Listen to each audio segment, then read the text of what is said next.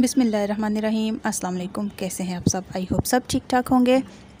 अच्छा जी, आज मैंने सुबह सुबह ही रिकॉर्डिंग शुरू कर दी थी। मैंने सोचा आपको अपनी थोड़ी सी रूटीन आज आपके साथ मैं शेयर कर देती हूँ। तो ये है जी टाइम सुबह फजर का। तकरीबन साढ़े पाँच बज रहे हैं और मैं उठते साथ ही मोबाइल हाथ में ले लिया। और फजर की नमाज़ पढ़ने के फ़ौर बाद मैं घुस गई जी किचन में, क्योंकि बच्चों का आज तकरीबन दो ढाई महीने की छुट्टियों के बाद, यानी कि समर वेकेशन के बाद बच्चों का आज फ़र्स्ट डे था स्कूल में। तो उसके लिए जल्दी इनको मैंने उठाना था, क्योंकि इनकी van six thirty thirty five तक इनकी वैन आ जाती है। तो बच्चे, बच्चों को मैंने उठाया और आज ये था जी इनका ब्रेकफ़ास्ट तो ब्रेकफ़ास्ट में मैंने इनको दिया था फालसे का फ़्रेश जूस घर पे बना के तो साथ ही इनको बॉयल एग दे दिया था तो ये हो गया था जी इनका ब्रेकफ़ास्ट इसकी रेसिपी आई थिंक मैं अपलोड कर चुकी हूँ। अगर नहीं की तो इंशाल्लाह बहुत जल्दी मैं अपलोड कर दूँगी। तो साथ ही यहाँ पे बारी आती है जी इनके लंच की, जैसा कि मैं अपनी कुछ प्रीवियस वीडियोज़ में भी बता चुकी हूँ कि बच्चों को मैं जो सीज़नल फ्रूट्स होते हैं वो ज़रूर देती हूँ। तो चाहे वो कुछ भी हो तो आज यहाँ पे मैंने इनको पीच और एप्पल दिया है और साथ में इनको दे दिया है जी मैंने चिकन नगेट्स ताकि बच्चे भी थोड़े खुश हो जाएँगे। और ये हो गया जी इनका लंच। तो इसके साथ ही अगर कोई जैसे क्यूकम्बर हो जाए या फिर कैरट्स फ्रेश होती हैं, एक तो आती हैं चाइना की ऑरेंज सी, वो नहीं, जो रेड ओरिजिनल पाकिस्तानी कैरट्स होती हैं, वो मैं इनको अगर हों तो वो भी ज़रूर देती हूँ, जिस दिन फ्रूट नहीं देती। तो है जी, ये हो चुका था इनका लंच बॉक्स रेडी यहाँ पे पानी की वाटर बॉटल्स भी रेडी हो चुकी थी। तो बच्चों का, क्योंकि काफ़ी गैप के बाद स्कूल जाना हो रहा है आज तो रेडी तो हो चुके हैं, लेकिन कभी इधर बेचारे सोने के लिए लेट रहे थे, कभी इधर। वैसे मेरी कोशिश तो यही होती है कि बच्चों को मैं एट थर्टी तक रात को सुला दूँ।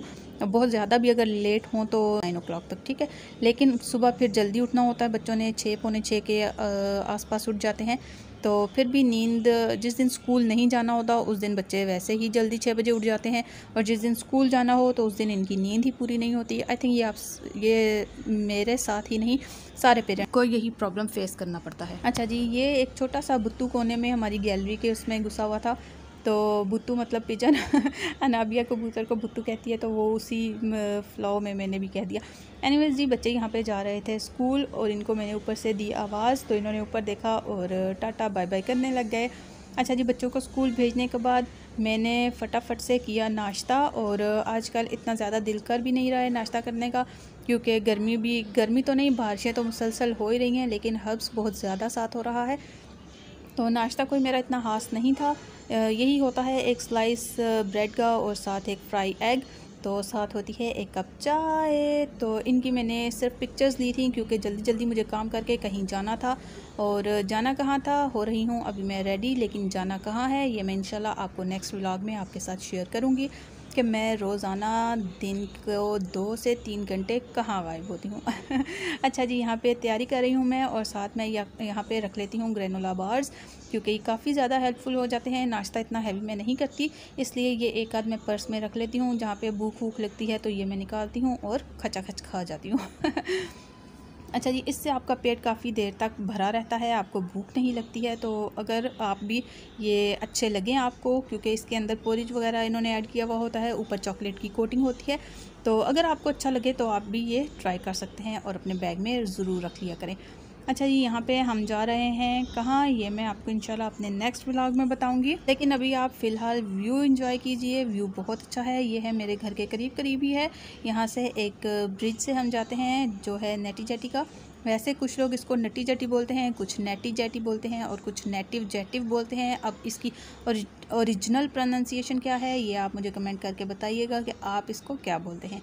अच्छा जी, यहाँ से हम जा रहे हैं अपने सेंटर तो कौन सा सेंटर है, कहाँ जाती हूँ, किस किस्म का है, क्या है, ये सब इंशाल्लाह आपके साथ आने वाले व्लॉग्स में मैं ज़रूर शेयर करूँगी। को दिखाऊँ कि आजकल कराची में ये जो पीपल बस सर्विस चली हुई है, बहुत ही अच्छी लगती है यार, क्या ज़बरदस्त, बिल्कुल नीट एंड क्लीन और ये आप देख सकते हैं, ये मेरे रूट के रूट के मतलब जहाँ पे हम जाते हैं, वहाँ पे पाँच, छः, सात, आठ, नौ, दस के करीब तकरीबन खड़ी हुई होती हैं और इनका फ़िक्स टाइम है इतने बजे से लेके इतने बजे तक जाना है तो इनके अंदर मतलब सीट बाय सीट जाते हैं।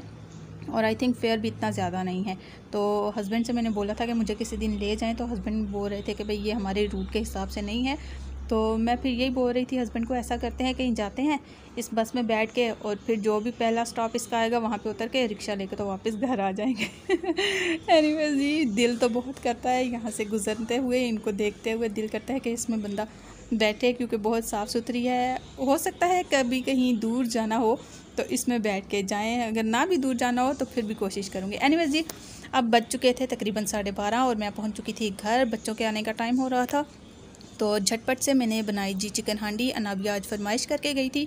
तो उसकी फरमाइश पे बनी है ये चिकन हांडी। इसकी रेसिपी भी ऑलरेडी अपलोड कर चुकी हूँ और तकरीबन 20 से 25 मिनट भी नहीं पूरे लगते और ये आपकी झटपट से बनकर रेडी हो जाती है। तो ज़रूर ट्राई कीजिएगा। इसको बहुत अच्छी, बहुत ज़बरदस्त सी रेसिपी है। तो एनीवेज जी, यही थी, यही था आज का व्लॉग आई होप आपको ये व्लॉग अच्छा लगा होगा. व्लॉग अच्छा लगा तो thumbs up like share and subscribe करना मत भूलिएगा. मिलते हैं जी नेक्स्ट वीडियो में. तब तक के लिए दीजिए इजाज़त, अपना बहुत सारा ख्याल रखिएगा. अल्लाह हाफिज़.